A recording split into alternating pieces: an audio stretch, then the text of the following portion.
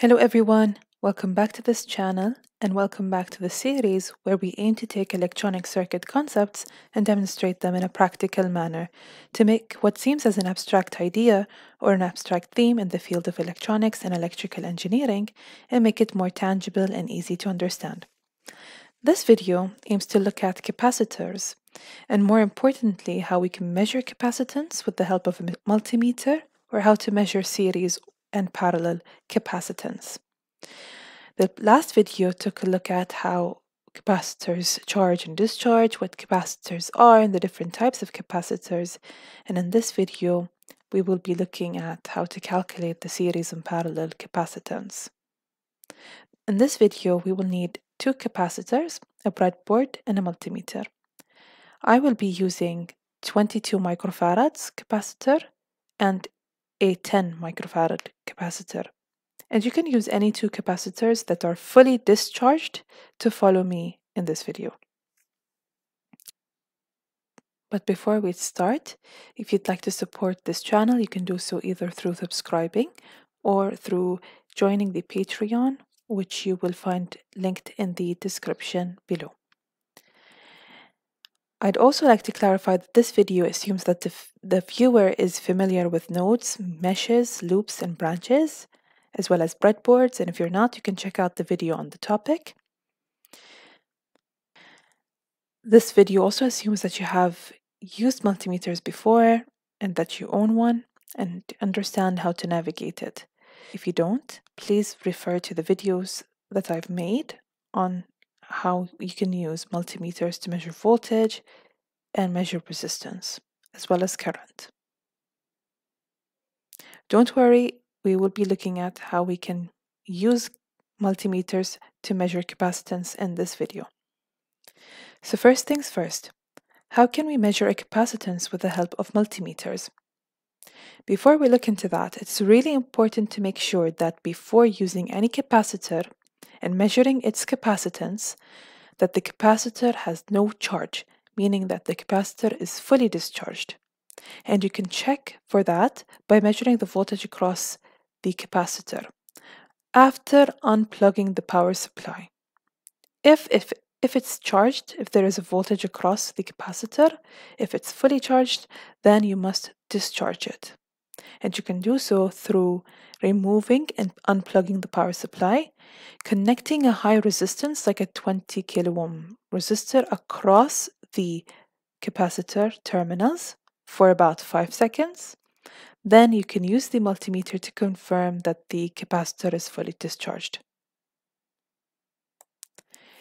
To measure capacitance, you must ensure that the capacitance isn't charged through using the multimeter in voltmeter mode and measuring the voltage across it, turning the dial to the capacitance measurement mode, placing the leads across the capacitor.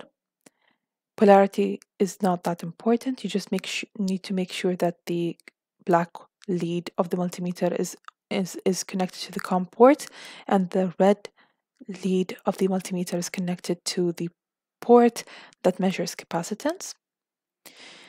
Then you can read the measurements displayed. If the capacitance is within the measurement range, the multimeter will display the, the capacitor's value. And if it's not within the range, measurement range, you will either see OL or the number 1 on the screen. And that could be either that the capacitor is faulty or the capacitance value is much higher than the measurement range, which usually is the case. Before jumping over to the workbench to measure capacitance, let's take a look at series and parallel capacitance and how to measure the equivalent series and equivalent parallel capacitance.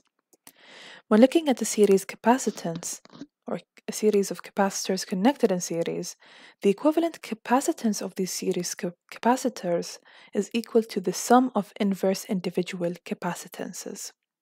This means that we expect the equivalent capacitance to be less than any individual capacitance in the circuit. As for parallel capacitors that are connected in parallel, the equivalent capacitance in the circuit equals the sum of the individual capacitance. And this means that the equivalent capacitance in a parallel circuit of parallel capacitors is greater than any individual capacitance. So let's start with calculating the series capacitance. We have two series capacitors of 22 microfarads and 10 microfarads. Therefore, calculating the sum of inverse individual capacitances of these two capacitors will give us 6.875 microfarads. So let's jump over to the workbench and verify if our calculations are correct. So first things first, let's make sure that our capacitors are not charged and you can do so through checking the voltage across each capacitor. And I've went ahead and checked for these two capacitors and they're fully discharged. There is no charge across it. There's no voltage across it. Therefore, uh, let's first take a look at our series capacitance for two capacitors, one that is 22 microfarads and the other that is 10.35 microfarads. And to do so, let's first turn the dial to the capacitance quadrant.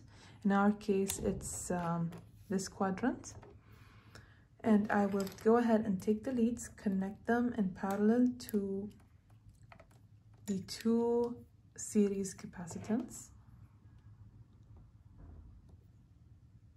and I can see that I get about 8 microfarads and if I lower down the dial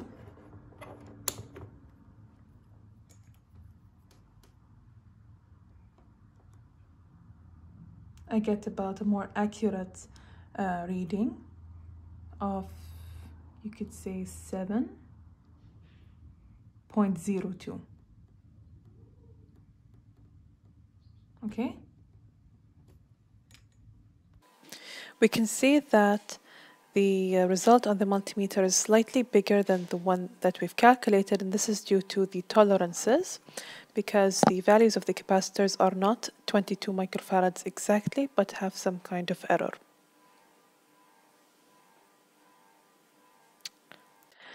Now that we've taken a look at series capacitance, how to measure the equivalent series capacitance and how to measure capacitors with the help of multimeters, Let's take a look at a parallel, see, uh, parallel capacitor circuit and measure the parallel capacitance.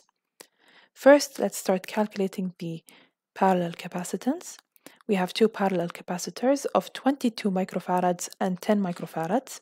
Therefore, calculating the sum of individual capacitances yields a capacitor value of 32 microfarads.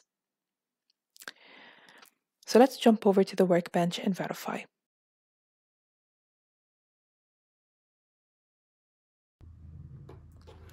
Now, doing the same, but for the two parallel capacitance, we should get about a 32 point something since we are adding up the capacitance just as we've seen and calculated. So I'll go ahead and place the leads across these two capacitors, I can see that the reading is too high for the uh, 20 microfarad.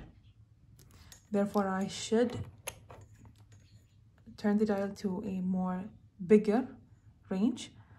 And when I do so, I get 35.0 or 35.0 microfarads for these two capacitance in parallel.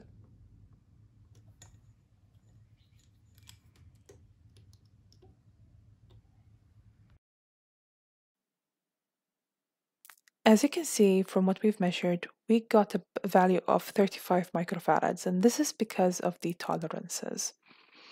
Thank you for watching this video, and if you found it useful, consider subscribing to my channel. Or if you'd like to support me, you can do so through Patreon, which you can find in the description below.